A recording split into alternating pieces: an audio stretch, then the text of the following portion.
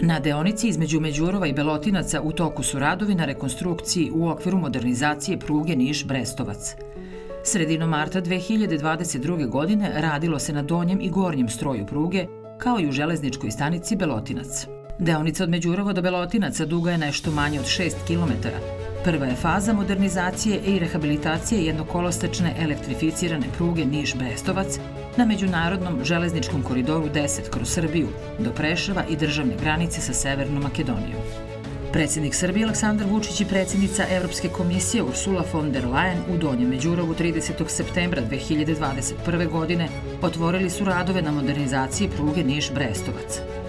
Početak radova oni su simbolično obeležili pritiskom na taster uz zvuk sirene železničke lokomotive, a rekonstrukcija ove pruge počela je podizanjem prvog železničkog polja u Donjem Međurovu.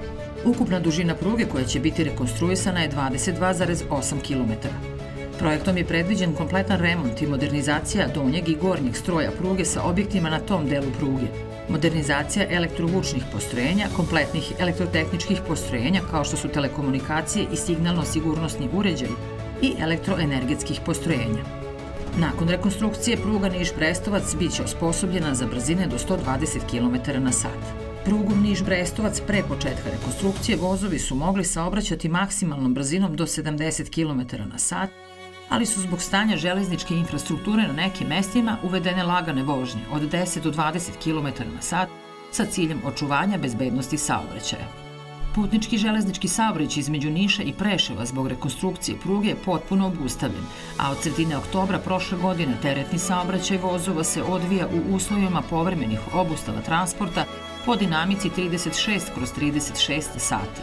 Izvođač radova na modernizaciji i rekonstrukciji pruge Niš-Brestovac je konzorcijum bugarskih kompanija Trace Group Holding PLC i Balkantel. Vrednost ugovora je 59 miliona 850 hiljada evra, od čega je iz bespovratnih sredstava IPA fondova obezbeđeno nešto više od 44 miliona evra, a ostatak iz budžeta Republike Srbije.